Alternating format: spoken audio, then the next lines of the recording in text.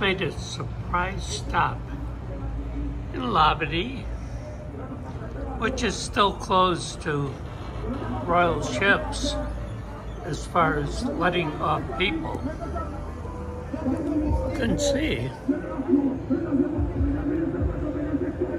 And you hear in the background.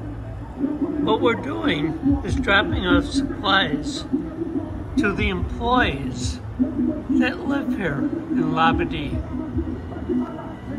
They have to survive too, and they still live here, and they still protect our property of Royal Caribbean and Labadee.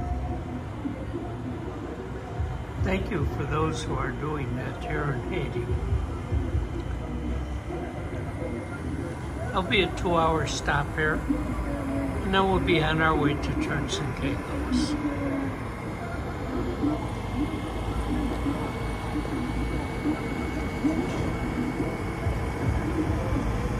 There's the supplies. Some of them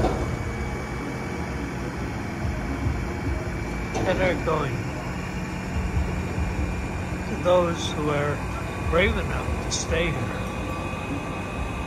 and still be employed by Royal Caribbean and watch for the assets here at Labadee.